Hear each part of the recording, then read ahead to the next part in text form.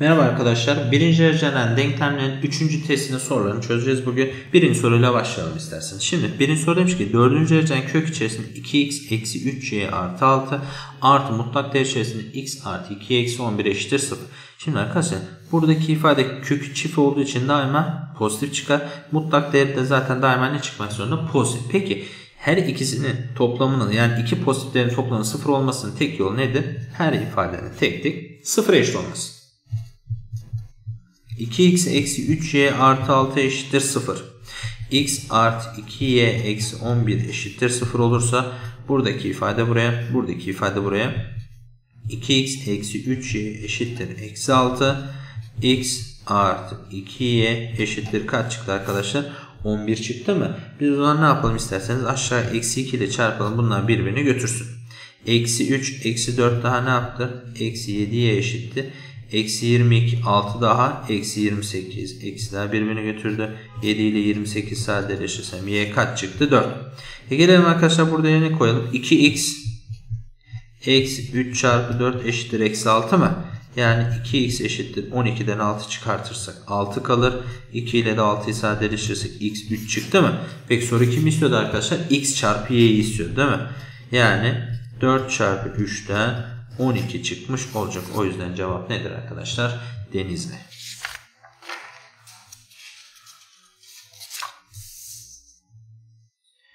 Evet ikinci soru diyor ki ax artı b eşittir 0 çözüm kümesinin boş küme olduğuna göre aşağıdakilerden hangisi doğru? Şimdi bir ifadenin arkadaşlar boş küme olması için ne olması gerekiyordu?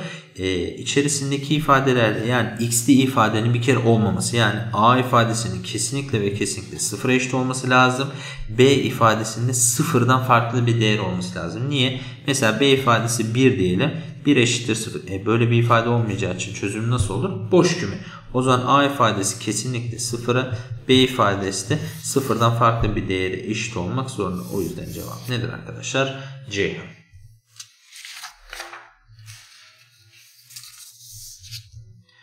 Evet, üçüncü soru diyor ki arkadaşlar x, y, z pozitif reel sayılardır. 3x artı 2y artı z eşittir 7. 8x eksi 3y artı 2z eşittir 14 olduğuna göre soru demiş ki x bölü y oranı kaçtır? Şimdi hem x hem y ile ilgili bir soru sorduğuna göre demek ki z'nin ortadan kalkması lazım.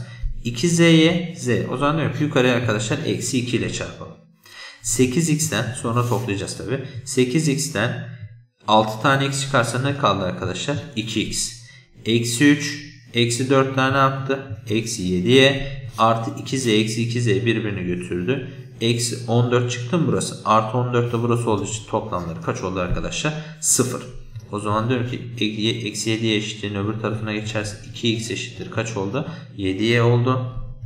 Her tarafı 7'ye bölerim arkadaşlar. Çünkü bilinenlerle bilinmeyenleri ayırmak için. Her tarafı 2'ye bölersek bunlar da birbirini götürdü. O zaman son durumda x bölü y kaça eşittir arkadaşlar? 7 bölü 2'ye eşittir. O yüzden cevap nedir arkadaşlar? Adana.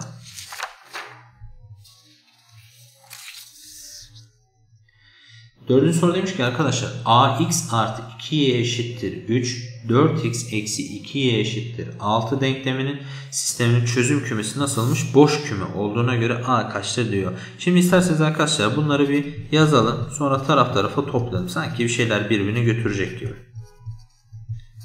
Toplarsak taraf tarafa ax artı 4x artı 2y eksiye birbirini götürdü. 6 3 daha kaç oldu arkadaşlar? 9. O zaman diyoruz ki burada her ikisinde de x ortak olduğu için x parantezinde a artı 4 ifadesi 9'a mı eşit? Şimdi bu ifadenin çözüm kümesi olması için buradaki ifadenin olması lazım arkadaşlar? 9'dan farklı bir şey olacak. O zaman diyorum ki burayı 0'a eşitleyeyim. Burayı içerisini sıfırlayan değeri bulayım a artı 4 ifadesi sıfıra eşitse a kaçtır? Eksi 4 mü?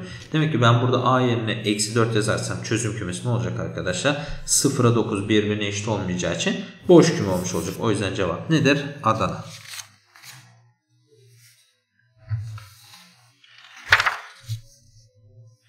Evet 5. soruya geldik arkadaşlar. Şimdi 5. soru diyor ki x artı 3 bölü x eksi 1 artı y bölü y eksi 2 eşittir 7. Aynı şekilde 2x eksi 1 bölü x eksi 1 eksi 2 bölü y eksi 2 eşittir eksi 4 olduğuna göre soru diyor ki x değeri kaçtır diyor. Şimdi paydalar aynı olduğu için arkadaşlar direkt taraf tarafa toplayalım. x artı 3 bölü x eksi 1 artı 2x eksi 1 bölü x eksi 1 taraf tarafa topladık. Artı y bölü y eksi 2 eksi 2 bölü y eksi 2 dedik. 7'den 4 çıkarsa kaç kalacak arkadaşlar burası da? 3 kalmış olacak. Peki diyoruz ki arkadaşlar biz şimdi aynı payda olarak yazalım. x artı 3 artı 2x eksi 1 bölü x eksi 1 artı y eksi 2 bölü y eksi 2 3. E bunlar birbirini götürse burası kaç olacak? 1. 2x 1x tane oldu burası 3x. 3'ten 1 çıkarsa 2 bölü x eksi 1 eşittir. Şimdi burada 1 kalmış eşitliğin öbür tarafına atarsak 3'ten 1 çıkarsa kaç kaldı? 2 mi? İçler dışlar çarpma yaparsak 3x artı 2 eşittir 2x eksi 2. 2x bu tarafa 2 bu tarafa gelirse x buradan kaça eşit olmuş olacak arkadaşlar? Eksi 4'e eşit olmuş olacak. O yüzden cevap C.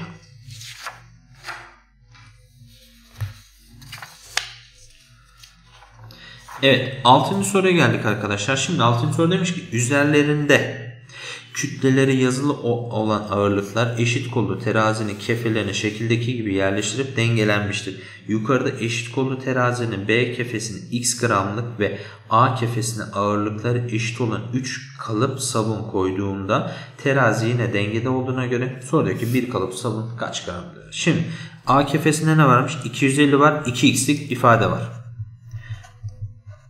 250 artı 2x'lik kilolara yaz. Eşittir. 500 500 bin artı x gramlık şey var ifademiz var. x buraya gelsin 250 buraya gelsin 2x'in x çıkarsa x 1000'den 250 çıkarsa kaç oldu arkadaşlar 750. O zaman her birinin ağırlığı ne kadarmış arkadaşlar 750. Şimdi diyor ki B kefesini ne kadar koymuşum arkadaşlar x gram. Yani 750. Öbür tarafa A kefesine koymuşum 3, kar, e, 3 kalıp sabun. 3 tane sabun koymuşum. E bunlar gene dengede olduğuna göre demek ki 3 kalıp sabun kaça eşitmiş arkadaşlar? 750 grama. 750 ile 3'ü sadeleştirirsem 1 kalıp sabunun ağırlığı ne kadar olacak arkadaşlar? 250. E zaten sonra 1 kalıp sabunu istedi. O yüzden cevap nedir? C.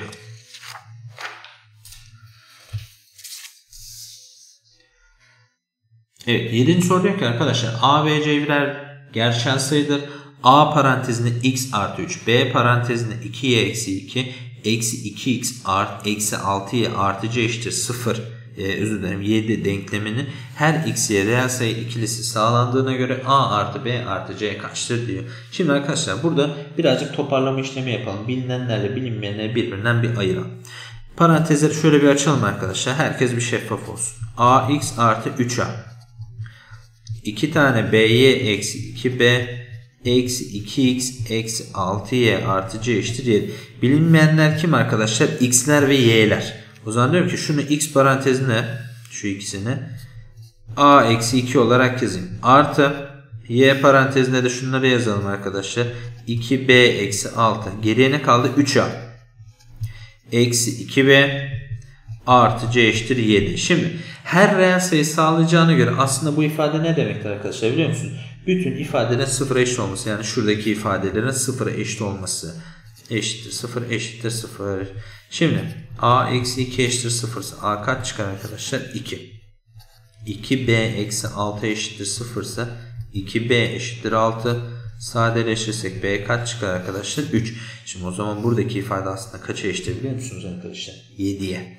Çünkü bunlar sağlanacağına göre bunlar gider. Son durumda biz hangi değeri verirsek verelim bu sonuç kaç çıkıyormuş? 7. 3a eksi 2b artı c 7 mi? a gördüğümüz yere 2 yazdık. 3 çarpı 2. Eksi 2 çarpı b gördüğümüz yere 3 yazdık.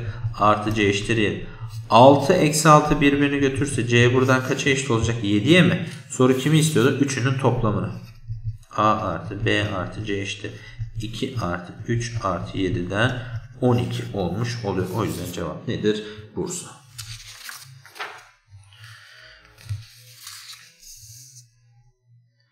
Evet 8. soruya geldik arkadaşlar. A sıfırdan farklı bir gerçel sayıdır.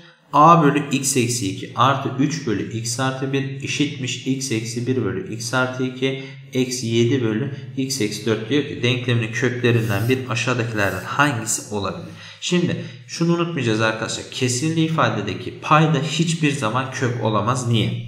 Mesela x eksi 7 diyelim. 3 bölü x eksi 7. Şimdi biz burada arkadaşlar x yerine 7 verirsek ne çıkacak? 3 bölü 7. Şurasını da biraz kapattık. 7 eksi 7'den 0 mı? Şimdi arkadaşlar 3 bölü 0 dediğimiz ifade nedir arkadaşlar? Tanımsızdır. O yüzden paydayı 0 yapan değerler olmayacak. Buradaki ifadeden x kaç çıkar? 2. Buradaki ifadeden x kaç çıkar? Eksi 1. Buradaki ifadeden payda kaç çıkar? Eksi 2. Buradaki ifadeden payda kaç çıkar? 4. Şimdi demek ki 4 olamaz. 2 olamaz. Buradan Eksi 2 arkadaşlar olamaz. Eksi 1 olamaz. O zaman öyle bir çözüm var ki köklerinden biri ne yapabilir? 1 olabilir arkadaşlar.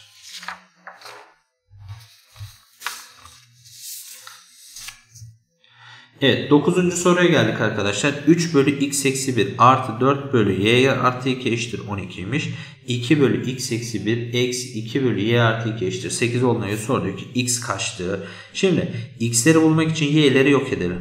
4 bölü y artı 2, 2 bölü y artı 2. İşimiz çok kolay çünkü paydaları eşit. Diyor ki aşağı 2 ile çarpsam 3 bölü x eksi 1 4 bölü x eksi 1 ile toplarsam ne yaptı arkadaşlar? En son durumda topluyoruz. 7 bölü x eksi 1.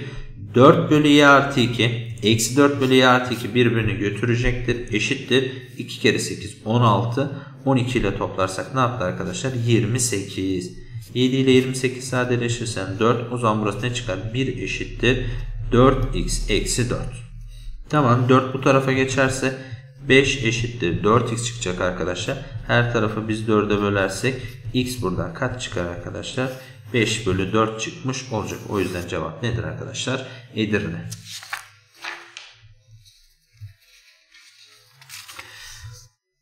Evet 10. soru demiş ki arkadaşlar 3x artı 2 bölü x eksi 1 eşittir 3 olduğuna göre denklemin çözüm kümesini. Şimdi e, işlem önceliği temel kavramlarda vardı. Önce neydi arkadaşlar? Parantez için. Tamam parantez içinde toparlayabileceğimiz bir şey yok. Sonra ne geliyordu? Çarpma bölme. O zaman bizim önce nereye bakmamız lazım? Şuraya. Burada şuna dikkat. x eksi 1 bölünmüyor. Sadece x bölünüyor. Eğer x eksi 1 olsaydı arkadaşlar burada sorunun bize aslında parantez olarak vermesi gerekirdi. O zaman 3x artı 2 bölü x eksi 1 eşittir 3 dedik. Eksi 1 öbür tarafa geçer. 3x artı 2 bölü x eşittir kaç oldu arkadaşlar? 4. İçler dışarı çarpma yaparsak 3x artı 2 eşittir 4x dedik. 3x öbür tarafa geçer. Dolayısıyla x kaç çıkar arkadaşlar? 2. Demek ki bizim denklemimizin çözüm kümesi neymiş arkadaşlar? 2'ymiş. Yani cevap Bursa.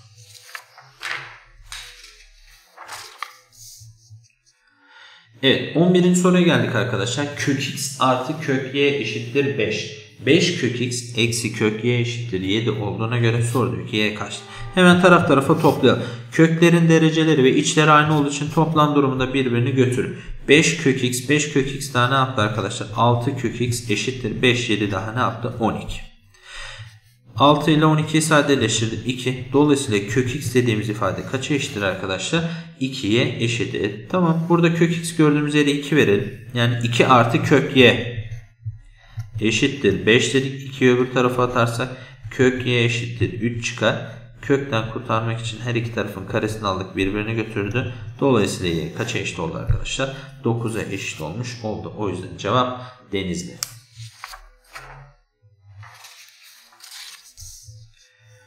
12. soruya geldik arkadaşlar. Şimdi diyor ki denklemin çözüm kümesi sonsuz eleman olduğuna göre m artı n toplamı kaçtır diyor. Bir kere bu tarz sorularda yapacağımız ilk ifade eşitliğin bir tarafı mutlaka sıfır olmak zorunda. O zaman diyor ki 5x öbür tarafa attım.